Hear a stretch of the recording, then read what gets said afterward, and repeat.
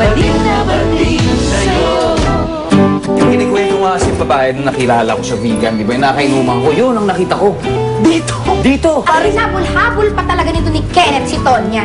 Alam niyo, feeling ko may some kind of a crush talaga to si Kenneth dito. Nung nakita ko, tumakbo, hindi ko lang kung bakit eh. Ano naman kasi si Tonya, hindi ko makaintindihan. Mga Kenneth, pati 99 pang ganun. Eh, sigurado, sigurado naman ako, may crush kay Kenneth. Sino ba may sabing broken hearted ako? Hindi naman masyadong obvious na. Tapos na ako doon. Meron na ako ibang babaeng iniisip. Sino naman itong babaeng ito? Kami nagkakilala sa isang bar. Sa may vegan. Kala ko hindi ko na siya makikita, pero kanina, parang nakita ko siya dito sa Maynila. Ang ibig ko sa iyo. Kung magkikita kayo ulit ng babaeng ito, pwedeng magkagusto ka sa kanya? Pwede. Malamang. Why not? I wanna get to know her better.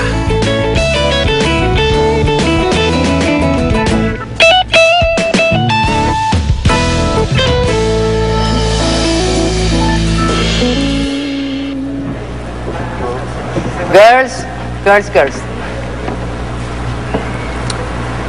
It's the time of the year again. Para sa pinakaiintay nating lahat.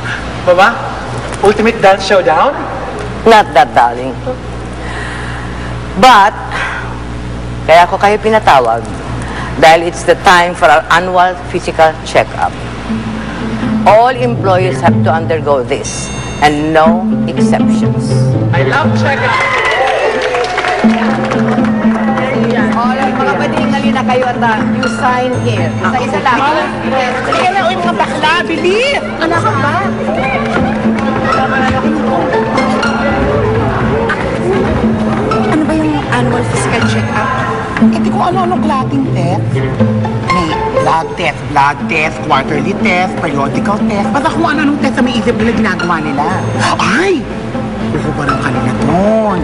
Tapos, hahawakan ka nila, pipindutin, susundot-sundutin ka mula ulo hanggang paa. Naalamin nila ha, mula prostate cancer hanggang AIDS kung meron ka. May sinutyogo-tyogo ka, boni man yan o alipo nga malalaman nila because no one is safe from the annual physical exam. Mongga! Di ka na tigi! Di ka na, oy!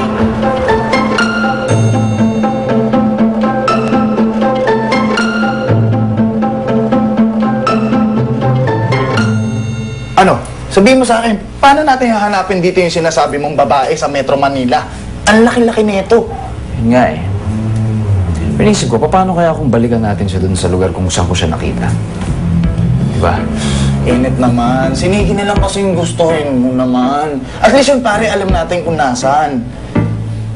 Oh, labo nito. Eh, pare, sa'yo na mismo nang galing, di ba? Na kinakailangan kalimutan ko na yung babaeng yan. Oo nga eh, pero pare hindi naman na natin kailangan maghanap pa eh. Tsaka bakit ba obsessed na obsessed ka dyan sa babae na yan? Nagtataka lang ako sa'yo eh. Eh, kasi, parang, hindi, di ba, nung pag sinabi ko sa sarili ko na ayoko na talaga kainin, kalilimutan ko na siya, tapos biglang sumulpot to. Oh, hindi ba parang senyalis na yun? Baka yun ang kailangan ko talagang tao na yan para makalimutan ko na lubusan si Niggy. Naku, ewan ko sa'yo, pare, alam mo, kakasama mo siguro sa mga baklayan, masyado ka na nagiging emotional. Ha? Alam ba yun? Ano, kasama ka ba o hindi? Ayoko! Ayoko sumama!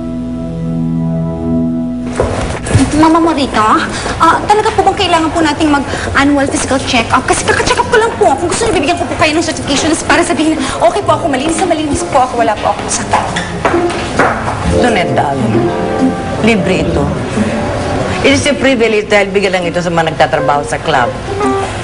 Maswerte nga kayo at may ganito. So take advantage of it.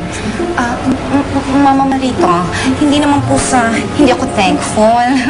Kaya lang po, kasi parang bago pa lang naman po ako sa club, hindi pa naman po ako regular na empleyado. Kaya okay lang po sa akin na hindi po ako kasama dito. Ah, tsaka nakakahiya naman po. Don't worry. Huwag ka mahiya. Akong bahala sa'yo. Okay? Ah, p- p- pwede po ba na sa ibang araw na lang po? Kasi para pong ano eh, parang masama po ang pakiramdam. Oh, the more you have to take the test para malaman ko ano yung diferensya mo. Oh, bakit naman ka ba kasi ang art-arte mo? I know. Ang dami pang sinasabi, ba't ayaw mo magpa-physical exam? Siguro may tinatago ka. no? Wala, no? Wala. Oh, wala? Wala. Ano ba? Bakit napakarami mga excuses para wag kang mag-exam? Yeah. Mga Marita, I'm sure may tinatago yan. Are you drugs? Hindi, no? Hindi ako drugs. Ah, ah, ano lang kasi yung... Kasi po ano eh, yung... Nat natatakot po ako sa injection.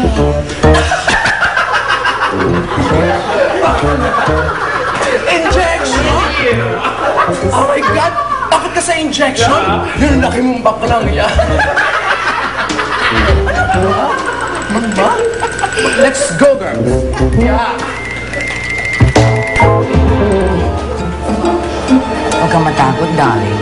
Para lang itong kagat ng langgam. Halika na, halika na. Let's go. Come on, let's go. Halika na.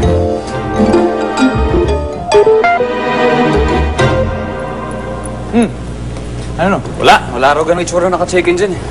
Eh sabi ko naman kasi sa'yo, pare, wala naman kasi. Ano natin nasisiguradong naka-check-in nga yun? Eh, di ba tiga-vegan siya? So, siguro, ideally, kung pupunta sa Maynila, mag-hotel yun. Eh, dito ko siya nakita, itong lugar na to eh. Baka dito siya nag-check-in. Pare, useless na itong ginagawa natin. Tsaka paano mo naman nasiguradong naka-check-in nga siya, di ba? Ma malay mo, umuwi siya sa kamag-anak niya. O baka pumunta siya ng vegan, umuwi na doon. Ka na! Ka na!